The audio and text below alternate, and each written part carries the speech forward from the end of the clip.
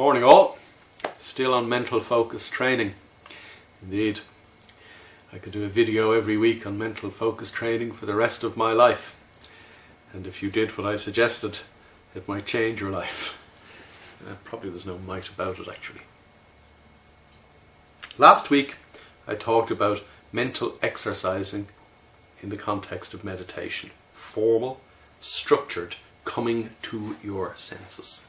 Now, that's an interesting term because that's exactly what you need to do to focus in the here and now, in the moment to moment of life, to ensure that you're doing the right thing and that you're doing the right thing to the very best of your ability in the context of what you want from life.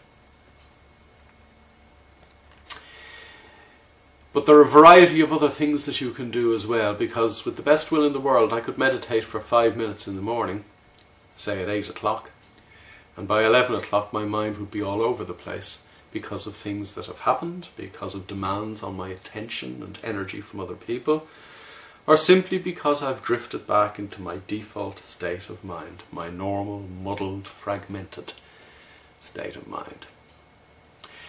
Therefore, what I would suggest that you do is you find ways of paying attention during the course of the day and deliberately, deliberately during the course of the day, decide at various points in time, I'm going to stop, stop whatever I'm doing, even if it's the right thing. Stop whatever I'm doing and actually spend a couple of minutes refocusing my mind. What I have in mind here is using the routine of everyday life to break with routine. Routine is one of our biggest enemies because routine actually ensures that we do what we do routinely, habitually, and through the process of psychological habituation, we end up paying no attention to the things that we do habitually, which is the exact opposite of what we're trying to achieve here. I'm talking about doing simple things, and you know, some of you will have heard me saying this before, but I have to keep repeating myself because most people say, oh yeah, that's a great idea, then don't do it. When you get up tomorrow morning, brush your teeth with the hand that you don't normally brush your teeth with. Because you have to pay more attention to it. Indeed, you have to pay attention in the first place to actually make the choice to do it differently. When you sit down to dinner tonight, swap the knife and fork from the hands that you normally use them in, assuming that you use a knife and fork. If you sit down to dinner with your family, and unfortunately a lot of people don't, but if you do, sit somewhere else, sit in someone else's place. Mix it up. Don't sit in the same place when you sit down to watch television. Indeed, if there's nothing good on television, turn the television off. Drive to work a different way. Take a different train to work. Take a different bus to work. Walk a different way to work. Walk a different way to lunch. Eat something different for lunch. Drink tea instead of coffee. Drink a different coffee instead of the coffee that you normally have. The list is bloody endless.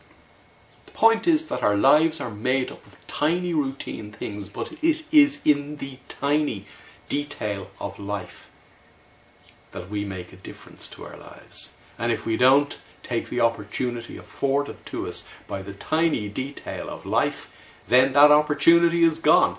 And you may never, ever get to the point of saying, well, I'll take this opportunity. Why? Because your default state of mind is one that says, ah, don't care. I'll go through the motions, I'll live my life routinely, I'll do the things that I do habitually, I'll pay no attention and lie on my deathbed and say to myself, what in God's name was that all about? If you want to do that, be my guest, but it's your own funeral.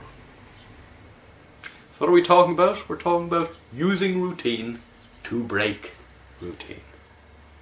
Weaving the process of paying attention to the detail of life into the very detail of life. So that becomes second nature to you. So that you begin to actually pay attention to everything that you're doing. And not only that, pay attention to the extent that you know that in the things that you are doing, they are the right things.